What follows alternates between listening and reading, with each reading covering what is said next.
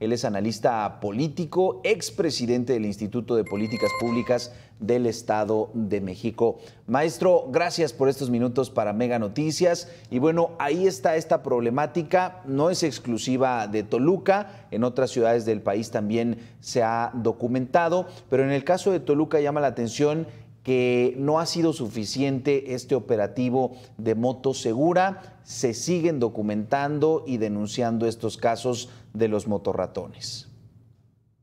Ciertamente, el tema de los motorratones es un asunto que preocupa cada vez más en todas partes. Advierto por lo que señalas que ciertamente Toluca se ha venido agravando todavía más la situación. Sin embargo, me parece que el fenómeno de los motorratones es solo una expresión más de un problema subyacente más grande, que es el grave problema de la inseguridad y de la violencia criminal. De tal manera que enfocar la acción pública, la acción gubernamental en atender o tratar de prevenir o evitar el robo de eh, los motociclistas, de algunos motociclistas, es un error porque estaríamos centrándonos en el síntoma de una enfermedad, vamos a utilizar esta figura, en vez de resolver el problema de fondo que tenemos, y repito, el problema que tenemos es una enfermedad que se llama, que se ha generalizado, que se llama violencia criminal. Y la violencia criminal se cura de una manera que es con acciones de régimen y con el restablecimiento del Estado de Derecho. Esto significa con la aplicación de la ley en todas sus dimensiones para acreditar que en algún lugar, Toluca en este caso, el que la hace la paga y que no quede delito o infracción sin castigo. Para esto, por supuesto que los operativos que vimos ahorita en el reportaje que se estaban haciendo, por supuesto que son positivos, pero por supuesto también que son insuficientes porque las autoridades no nos han dicho, por ejemplo, a cuántas personas han detenido, por qué razón y cuál es el seguimiento que se les ha dado. He escuchado incluso que existe la intención de legislar al respecto, lo cual es absurdo porque es innecesario.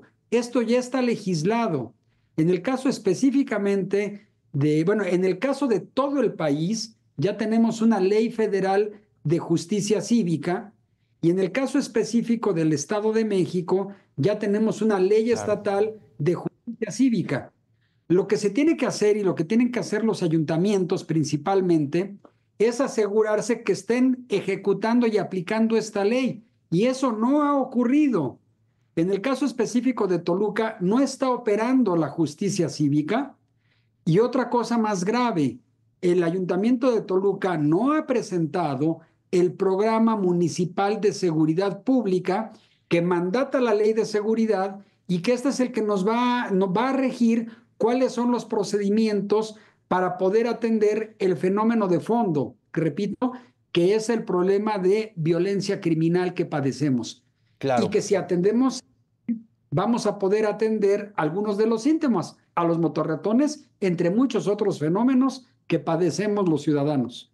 Esto que menciona maestro es muy importante porque en realidad es el fondo, que es lo que vimos con estas acciones de reacción, vamos a decirlo así, de bote pronto. Bueno, hacen un operativo, están revisando los documentos, que no vayan más personas en las motos, es positivo, pero lo centraron en, en la zona histórica del centro, en la terminal de autobuses, en el mercado, y ahí ya no hay tantos reportes entonces de estos motorratones que ahora se fueron a otro lugar. Entonces viene a mucho, hace mucho sentido con lo que menciona, porque finalmente pasa este efecto cucaracha, se van a otros lados, pero no se ataca el problema. Y esto quizá que mencionaba sobre el plan de seguridad es más relevante. ¿Dónde está ese documento? ¿Le corresponde al municipio? ¿Por qué no lo ha presentado? Sí estamos hablando de que al ser eh, pues un municipio, la capital del estado, tiene que ser el ayuntamiento quien delinee esas acciones. Es correcto el ayuntamiento de Toluca, pero me atrevería a decir de prácticamente todo el Estado de México, los 125 ayuntamientos, salvo excepciones, están en falta en dos asuntos. El primero de ellos es dar cumplimiento a la ley de seguridad estatal que les mandata, que les ordena presentar un programa eh, municipal de seguridad. Y ese programa municipal de seguridad debe cumplir ciertos requisitos. Uno de ellos, que es muy importante, es presentar con mediciones eh, de validez universal, evidencias de carácter científico, nos deben dar de la dimensión del fenómeno criminal y nos deben decir cuáles son los fenómenos delictivos que se van a atender de manera prioritaria. Se le llama técnicamente hablando los objetivos criminales. Si no conocemos el tamaño del fenómeno y si no conocemos los objetivos criminales, es prácticamente imposible implementar un operativo que podamos evaluar para saber si tuvo éxito, porque literalmente lo que están haciendo es dar palos de ciego a ver qué se encuentran.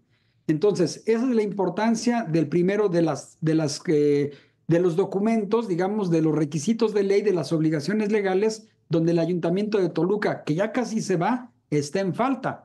Pero aunque ya se vaya, este es un asunto institucional, se tiene que hacer y se tiene que hacer ya, y ya es hoy, para que el ayuntamiento que entra pueda retomar en una suerte de relevo esa responsabilidad. Y lo más importante, que más allá de lo que le pase a los políticos, nosotros los ciudadanos tengamos claridad cuáles son los objetivos, cuáles son las metas y qué es lo que va a ocurrir. Claro. Y el otro problema que está en falta es el incumplimiento de la ley de justicia cívica estatal, que ahí está la solución al problema si, si se ponen a hacer lo que es obligación, aplicar esa ley. Claro. Eh, maestro, nos queda un minutito, pero creo que esto es relevante porque en sus dos comentarios ha presentado prácticamente la solución. El tema de una estrategia de fondo con diagnóstico, el incumplimiento que tiene hasta este momento el ayuntamiento de Toluca, pero la parte en cómo exigir que se cumpla porque esto no lo cumplió este ayuntamiento, pero el anterior tampoco, y en muchos ayuntamientos del país estamos en las mismas. Los ciudadanos desconocen esto, desconocen cuál es el proyecto, los objetivos, tampoco lo pueden seguir. ¿Cómo exigirlo? Primero es muy importante y muy valioso lo que hacen ustedes los medios de comunicación, porque hay que recordar que ustedes también tienen una obligación jurídica establecida en la Constitución, que es promover la cultura democrática. Y eso significa hacer saber a los ciudadanos sus derechos, pero también sus obligaciones. Y nuestra obligación ciudadana primero es enterarnos y la segunda es exigir a los alcaldes, a los ayuntamientos, a los síndicos y regidores que ya se van antes de que se vayan, debemos de preguntarles por qué no han cumplido este par de obligaciones y qué piensan hacer en los dos meses que le quedan para que no se, para que se vayan con la tranquilidad de que al menos empezaron y a los, a los ayuntamientos electos, que todos sabemos quiénes son y que están ahorita integrando equipos de trabajo y pensando en estrategias, es el momento de exigirles, quizá ahora mismo, ¿por qué no? Ciudadanos al fin son y tendrán la obligación a partir del primero de enero de que nos vayan diciendo cómo piensan atender esta situación. En el Estado de México solo hay siete municipios que son encuestados por el INEGI y solo de ellos sabemos cuál es parte del, del fenómeno criminal a atender. Uno de ellos, Toluca. Pero bueno, que sean siete no es nada esperanzador. Lo que le tenemos que pedir, y aprovecho este medio, a los legisladores locales, a los diputados locales del Estado de México que acaban de entrar en funciones, que sean más, que reformen la ley de seguridad pública estatal para que sean más precisos y le pongan plazo a este mandato que ya está en la ley de presentar el programa pero que le pongan plazo para que esto no ocurra más allá, yo sugeriría, de los primeros 180 días de su gestión, porque es el problema más acuciante que tenemos los ciudadanos. Pero además no solo eso, las eh, eh, personas que fueron electas integrantes del ayuntamiento, todas dijeron en campaña que atenderán este problema y al día de hoy no tenemos constancia clara de que ya lo estén haciendo. Claro.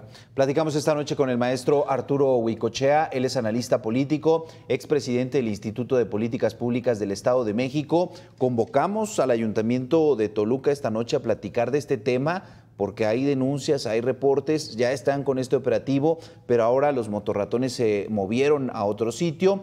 Bueno, no pudieron concretar la entrevista el día de hoy, es parte de esa respuesta que tienen que dar. Y bueno, pues el objetivo y el planteamiento es ese, exigir estos dos documentos, ir midiendo cómo se va trabajando, porque de lo contrario, pues las autoridades pueden decir muchas cosas, pero en los hechos no se refleja. Maestro, muchísimas gracias por estos minutos para Mega Noticias. Gracias a ustedes, gracias a todos en Mega Noticias. Buenas noches.